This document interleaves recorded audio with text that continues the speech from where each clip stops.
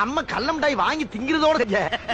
எல்லாம் எந்த முயற்சி எடுக்கல அது நாங்க விக்கிறோம் அதையாவது வாங்கி சாப்பிடல அது எங்களுக்கு லாபம் தானே எந்த